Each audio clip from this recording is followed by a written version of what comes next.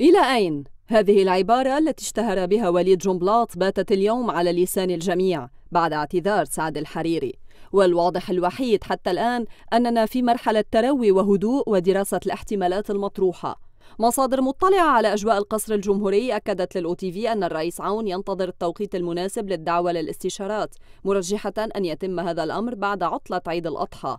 ومن الآن حتى ذلك الوقت تبقى فرصة مناسبة للمشاورات الجانبية بين الكتل لبلورة موقفها. ماذا ستفعل الكتل النيابية؟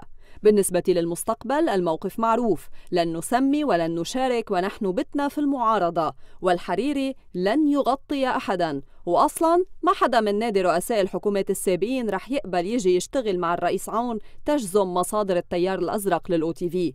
على العكس تماما يعتبر عضو كتلة اللقاء الديمقراطي النائب بلال عبد الله في اتصال مع ال OTV أن الانتحاريين كتار. يرفض الدخول في لعبة الأسماء لكنه يقول أن الالتزام الوطني يفرض على النواب التسمية والمسؤولية الوطنية تفرض على الرئيس عون التعاون مع الرئيس المكلف ويتابع جازما.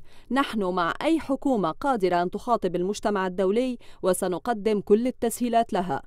وفيما ابتعد التيار الوطني الحر عن الإعلام ولم يعلق لا سلبا ولا إيجابا على الاعتذار وما سيليه بانتظار كلمة مرتقبة لرئيسه كما تشير معلومات الأو تي في اتخذت القوات اللبنانية قرارها سريعا بعدم تسمية أي شخصية على غرار ما فعلت لثلاث مرات سابقا معتبرة مرة جديدة أن الأولوية للانتخابات النيابية المبكرة. إلا إذا استجدت معطيات تستدعي موقفا آخر ولكن حتى الآن لن نسمي أحدا. الحذر يخيم على مقاربة الثنائي الشيعي للمرحلة المقبلة ومصادرهما تسأل عبر الأو تي في. في شخصية سنية من الصف الأول رح تقبل تتكلف وتتابع كاشفة أنه جرى تواصل مع كل من مصطفى أديب وتمام سلام ورفضا الأمر. أما بالنسبة لنجيب ميقاتي فهو وضع شروطا لقبوله أبرزها الحصول على تغطية الحريري وألا يتدخل أحد بتشكيلته ما يعني بكلام آخر أنه وضع شروطا تعجيزية.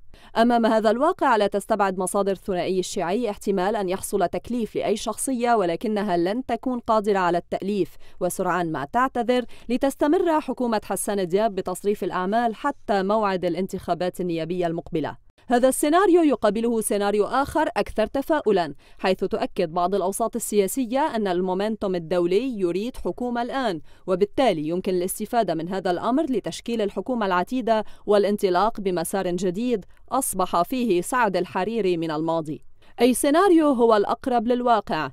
سؤال لا أحد يملك الجواب عليه حتى اللحظة فكل ما يحكى يبقى فرضيات لا يمكن البناء عليها بانتظار الدعوة للاستشارات وتبيان المواقف الإقليمية من الأسماء التي قد تطرح.